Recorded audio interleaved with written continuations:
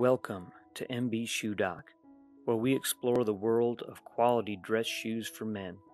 We will cover the art of patina and shine, learn to care for our shoes, review the brands that you love, and introduce brands that you've never heard of.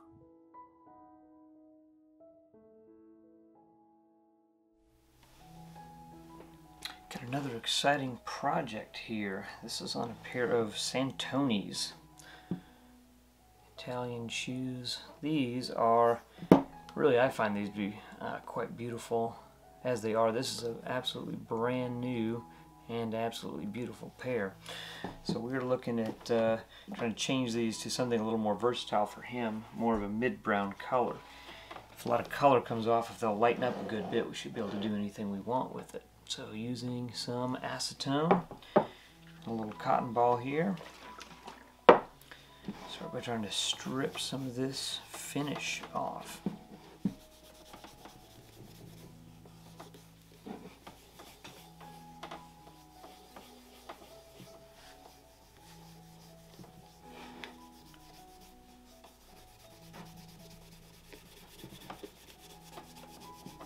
hoping to get it to a really pale color like a taupey gray. Maybe there's some tan uh, kind of base leather underneath this. And actually before I try to strip the rest I'm going to insert some shoe trees. We're going to pause it here. Alright these are shoe trees for my friends over at Fintoco. I like to use their uh, colored laces on some of my restorations and things, but they do uh, shoe trees as well now, so it's pretty cool. So a little shout out to them. The shoe tree, it helps uh, just by giving me a more firm surface to, to be able to try to strip against. So I'm pushing on it, and it'll help to prevent creating any any creases or anything as we go here. You can see this is lightening up uh, pretty well. So I think it's going to be no problem to go brown with it, to go to a mid-brown. It's getting light enough that you could really do almost any color that you want.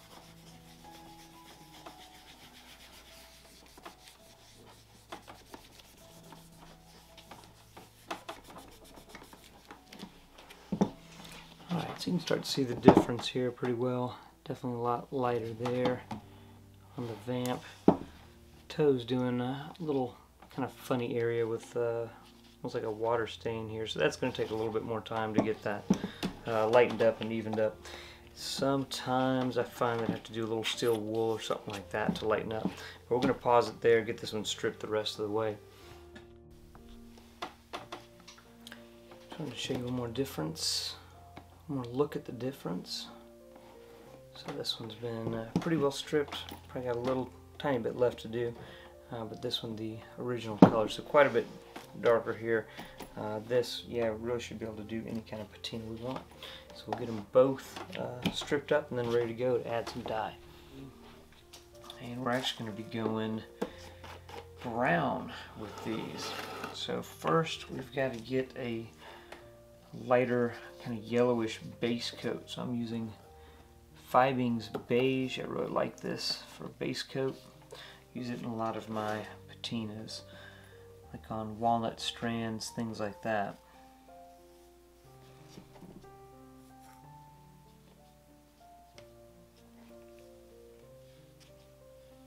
Let's see how this does.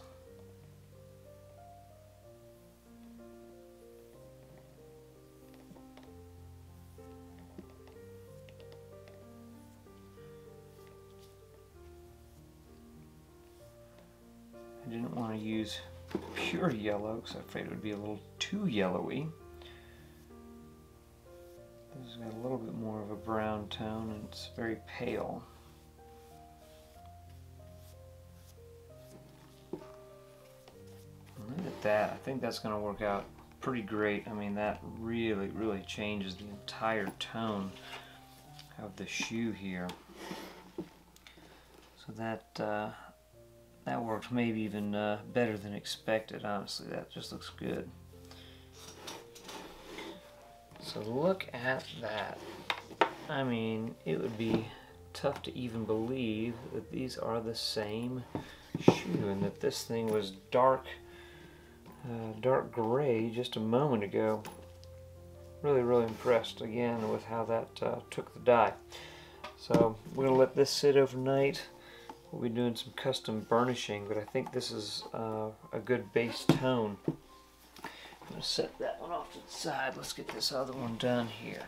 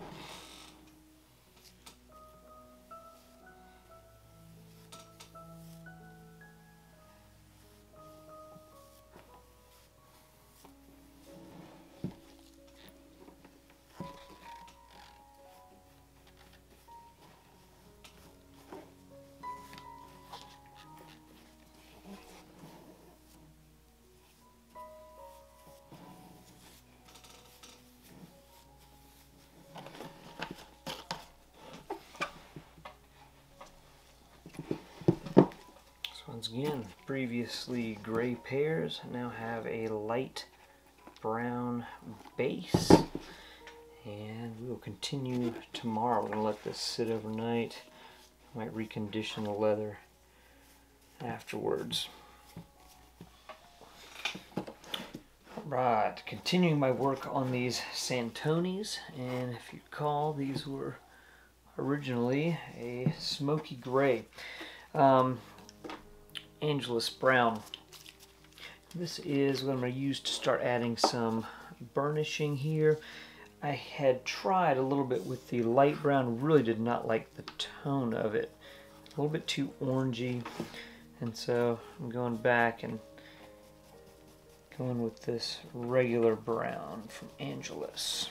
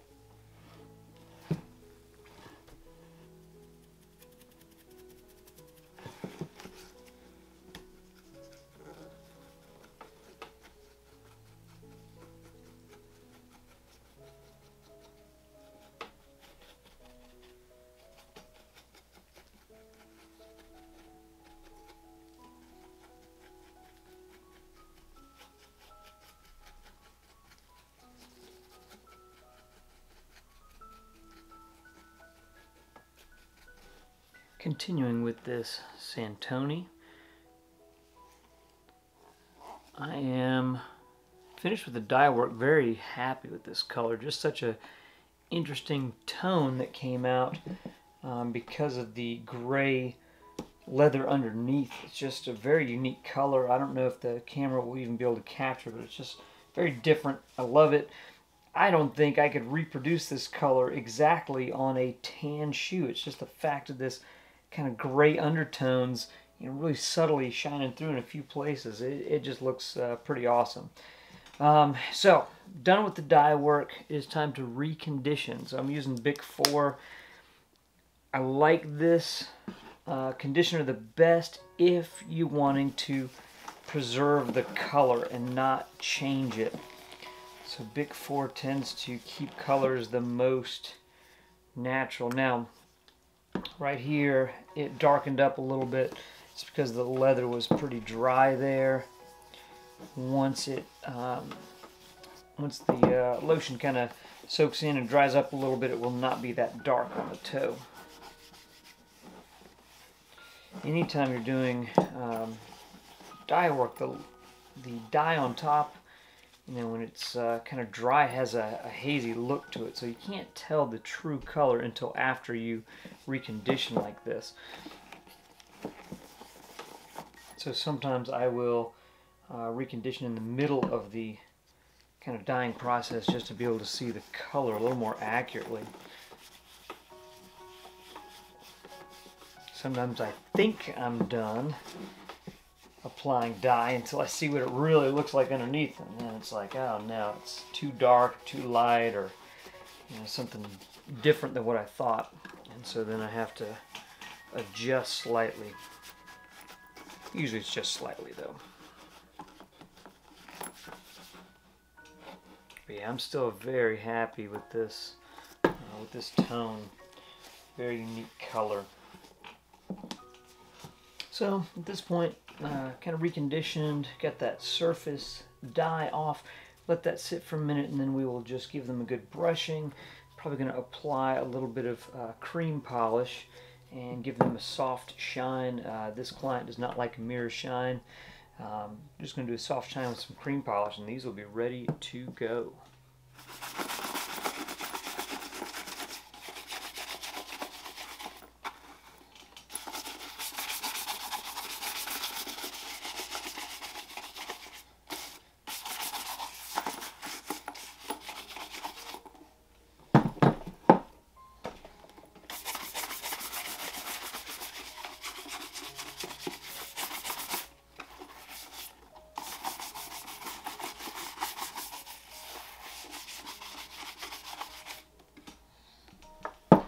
I'm looking at using a little light brown, Saphir cream, just getting a little dab on my fingertip here.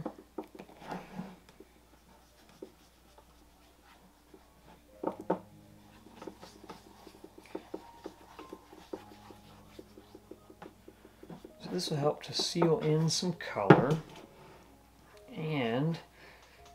it'll slightly warm up the tone as well. A few areas where maybe I feel like it's slightly too uh, yellow looking. So add a little bit more of that uh, kind of orangey pigment.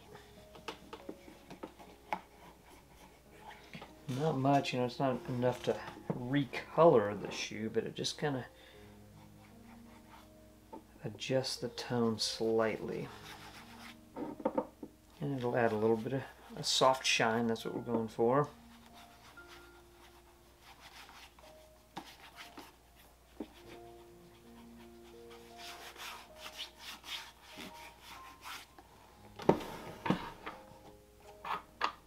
Alright, we're going to let that sit a minute. I'll brush them off, and then I might add a little bit more uh, with the dark brown and I think that'll just about do it for us. Uh, but yeah, looking pretty good here so far.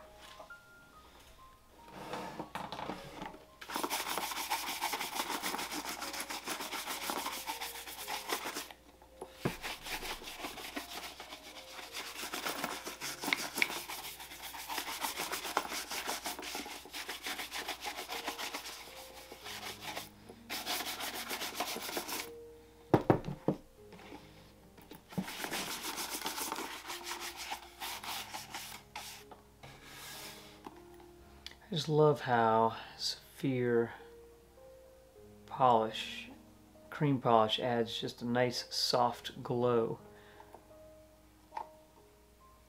Just a very nice soft shine on these. Again, the uh, client doesn't want a mirror shine, but I think this gives it uh, uh, just the perfect amount of uh, sheen to the leather. It really looks nice.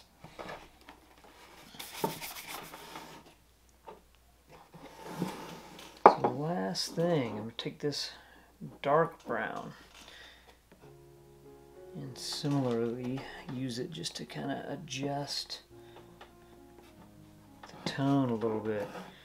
You know, kind of darken this, burnish this toe up a little, fade it up a little bit more too.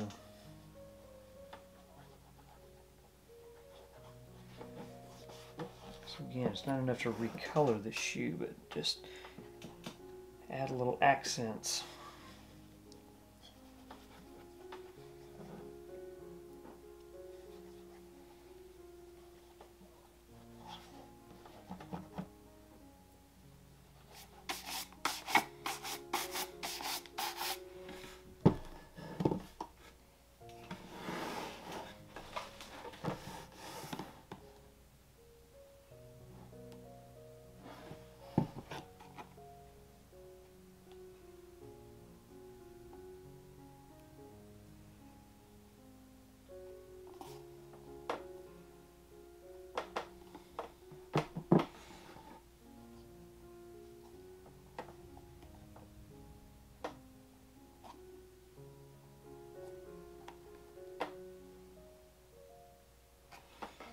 Overall I'm absolutely thrilled with the way this turned out this color. Um, hard to believe that these were gray initially. Um, this is probably one of my favorite patinas that I've done. Absolutely love the way these uh, turned out. So hopefully you enjoyed this video. Uh, please like subscribe and share and there'll be plenty more excitement to come. Uh, probably one of the next things that I work on will be a crust leather pair so that'll be fun and exciting so stay tuned.